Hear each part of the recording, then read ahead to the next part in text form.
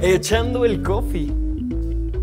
Echando el coffee con Victoria del Valle. Hola. Qué hermosa, qué preciosa. ¿Cómo te quiero? Ah, yo también.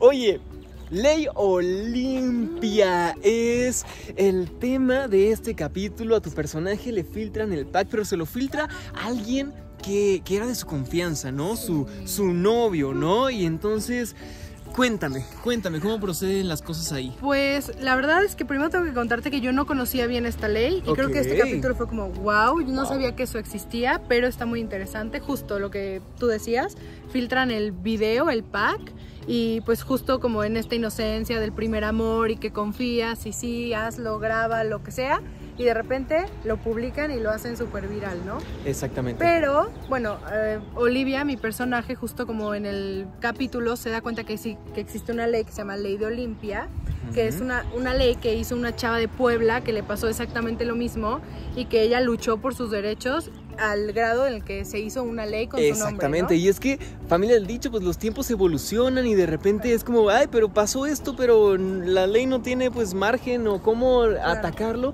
entonces la ley también tiene que evolucionar.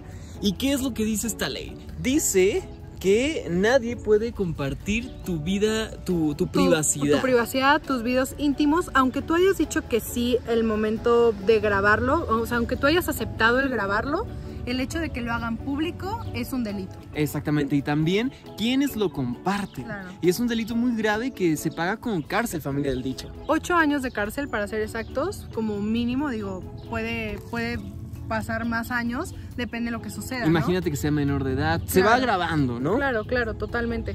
Me parece muy interesante que, que como mujer, como hombre, como todos estemos protegidos de alguna manera, ¿no? Porque en este caso, bueno, se filtran a dos mujeres que lo van a ver, pero también se han filtrado packs de hombres de muchos, Exactamente. ¿no? Y de repente ya lo vemos como algo no natural, Lo pero ay, se- normalizamos. lo normalizamos Sí. que está muy mal, inclusive de figuras públicas, ¿no? Así, ay, Sí. salió el pack de no sé quién. Y lo mandas, ¿no? Y de repente en tus grupos ya te mandaron el pack de una figura pública y, y bueno, o sea, si nos ponemos en los zapatos de esa persona, o sea, es violación a tu intimidad y- no está padre. Y es un delito, familia del dicho. Entonces ya sabemos, la ley Olimpia nos ampara ante este tipo de cosas. Aunque tú hayas aceptado tomarte fotos, tomarte videos, no estás aceptando que los divulguen. Justamente. Porque de repente puede ser como esta de no, pero tú aceptaste, ahí se ve clarito que no estabas en contra de tu voluntad, pero la divulgación es lo que castiga esta ley, que es muy que importante saber. También hay que como no normalizar el hecho de que